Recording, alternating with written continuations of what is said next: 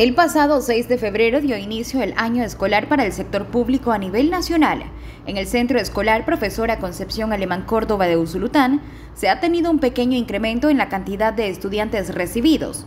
Así lo explica el director de este centro educativo, Salvador Penado.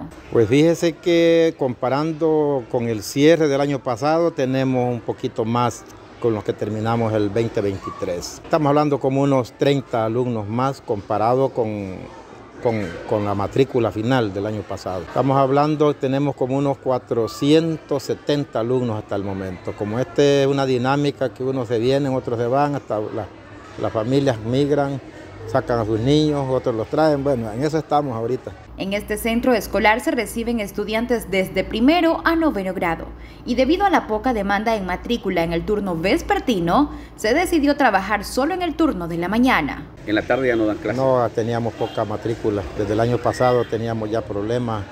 Este, como hay una cantidad de niños mínimo que debe haber en cada sección, y debido a eso, pues el consejo directivo decidió hacer un solo turno. Para los docentes que los estudiantes tengan capacidad de leer y escribir adecuadamente es prioridad, por lo que se trabaja constantemente en esta área para identificar a los jóvenes que tengan complicaciones y así orientarlos y ayudarlos a mejorar. Pues fíjese que en el aspecto educativo, como tenemos problemas con los niños en el área de lectoescritura, ¿verdad? seguimos con los proyectos de diagnóstico, cómo están nuestros alumnos en esa área para brindarle la atención oportuna y precisa para, para superar esas deficiencias que tenemos, porque realmente en todos los centros educativos esto viene siendo como una, todavía una, ¿cómo le diría? Un rezago de lo que era la pandemia, ¿verdad? que los niños, como en pandemia, teníamos niños en primero y pasaron tres años así, no es lo mismo comprobado, como dije la vez pasada, que el maestro no se puede sustituir por una máquina, ¿verdad?